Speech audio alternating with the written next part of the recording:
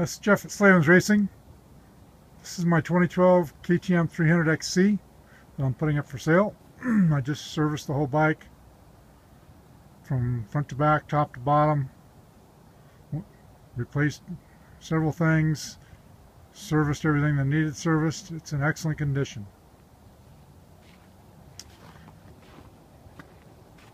It's got Cycra handguards, flex handlebars, It's a 10 degree flex, has a Scott's damper kit and a clean speed cable guide. There's no bleeders on these forks right now. These are brand new forks I just slid on here. I took my test forks off, but I will modify these forks to match whoever buys the bike. So they will get the next level uh, valving and spring upgrades, whatever needs to be done to match the new buyer, or the new owner, excuse me. It's got a light kit, it has the uh,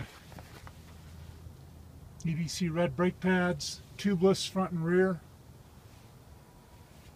Right now it's got different rear wheel on it than belongs on it. That's just a test wheel. That will be, it will have matching wheels on it. It's got a Rekluse Core EXP clutch. And it's brand new. It's got a new pipe guard. E-line carbon fiber. Shock was just serviced. Fresh oil. It's got a brand new link skid on it. It's got the MSR half inch offset foot pegs. Bulletproof designs shark fin. Also has tubeless on the rear. Has an Enduro Engineering spark arrestor end cap. The bike is plated and titled. Uh, it's snowing right now, as you, can, as you can see on the seat. It's 7 degrees right now here in Colorado. It's uh, got the seat concepts, standard height seat, and that's new. CV high pressure radiator cap and bulletproof designs radiator guards. TM Designs plastic skid plate and the water pump impeller has been uh, upgraded to the high volume billet uh, impeller. Of course it's got the mule ported cylinder and the SS, SXS mountain head.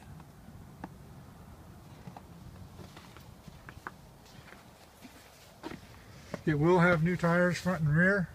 This tire on the back is a prototype. It's not going with the bike. It will have a brand new Bridgestone knobby on the back.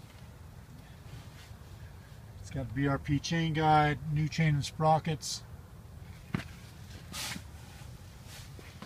Push this clutch out here a little bit.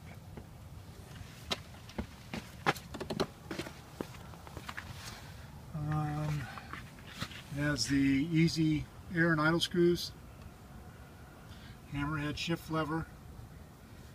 starter was was recently uh, service with new brushes, cleaned and greased. I'm sure I'm forgetting some stuff. Uh, inside the carburetor is also has the bullseye, which is the vertical and horizontal wing device. Gives it more bottom end and mid-range. This motor is very strong. And let's see, it also has a left-hand rear brake kit on it. I'm sure there's some things I'm forgetting, I always do, but that's the basic overview of this bike that's going to be for sale in just a couple days.